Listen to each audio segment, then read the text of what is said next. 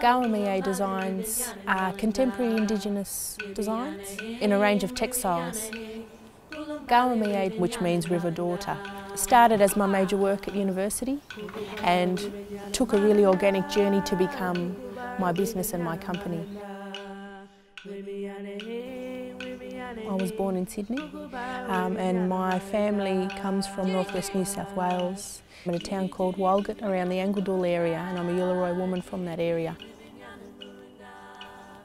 One of the first things that I actually developed was the colour palette and they were colours that really evoked a sense of the landscape, um, you know, of the stories but of the country, of our muddy brown-green rivers, um, of the beautiful rich black soil, of the red sand.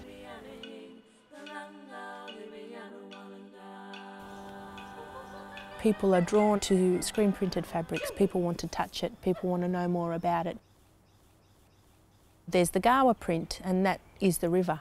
Another of the prints is the crow and seagull design about a seagull that happens to fly past freshwater country.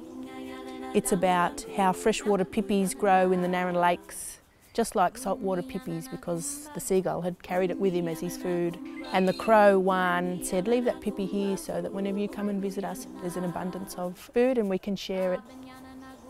My latest print is Burra Warrumbul. For Yuwaalaraay people, we believe that the stars of the Milky Way represent uh, campfires. And around each of those campfires are our family and our ancestors and elders that have passed on. And they're cooking up a big feast of freshwater river mussels.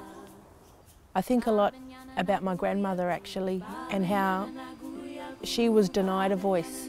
She wasn't able to speak language or to practice culture. So I feel it's my responsibility um, to tell those stories, um, but most importantly to celebrate all the wonderful and beautiful things about our culture.